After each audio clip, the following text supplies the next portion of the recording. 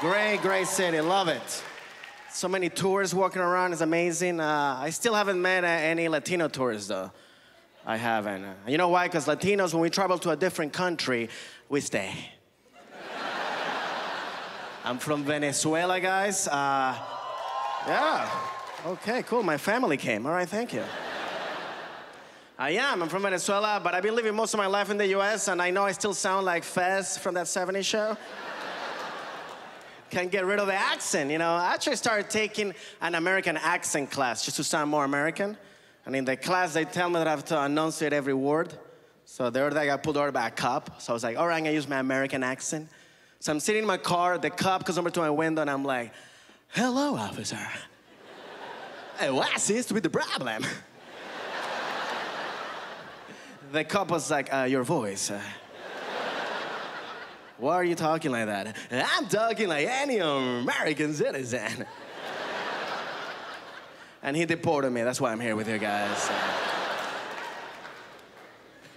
Oh man, like I said, I had to learn English when I moved to the US. Uh, English is a very hard language to learn. Too many words sound similar. Like when I was growing up, I couldn't say the word beach. Couldn't say that word.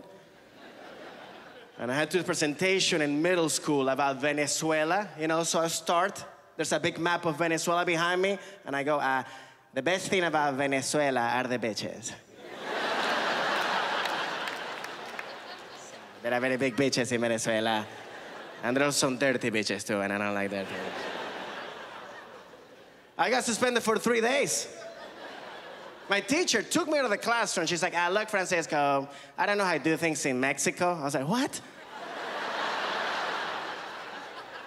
I'm from Venezuela. That's the same thing for us. Uh, is this your girlfriend, sir, or wife? How long have you guys been going out? What? You have no idea? Okay, thank you.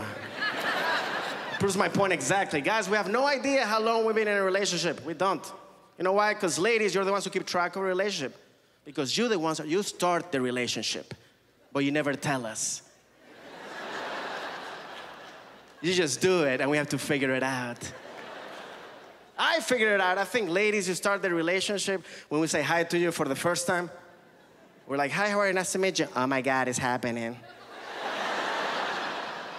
he said hi to me on the 21st. Let the countdown begin.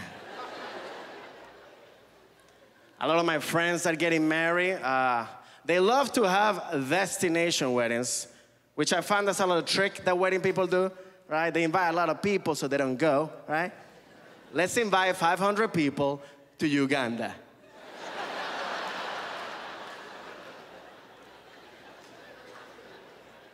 I don't mind going to Uganda, but they still want you to bring a gift. If I'm going to Uganda, the gift is me. right? $4,000 and you still want bathroom towels? They're coming from the hotel room. Montreal, merci beaucoup.